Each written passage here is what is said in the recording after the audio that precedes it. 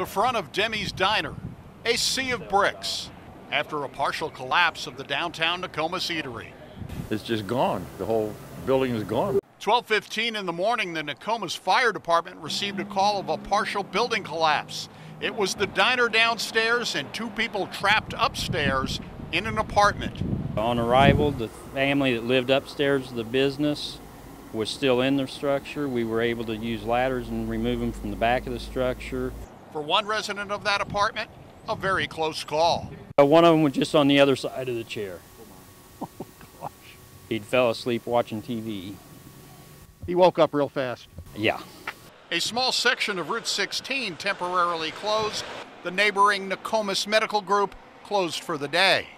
Ken Wilbur owns a business just a couple of buildings away. He knew nothing about it until he came to work. I thought at first it was a fire, but it's not. It just collapsed. Ken came to town and went to his normal parking spot. This morning I, I come out and my alley back behind is blocked off. I couldn't get to the back of my shop, so I pulled up in the front here and saw this. I was really surprised. The cause of the collapse is under investigation by the state fire marshal. There was no fire or explosion, and the building probably dates back to the early 1900s. It seems to be more of a natural failure of the structure. There were no injuries in the collapse. In Nokomis, Doug Wolfe, WAND News.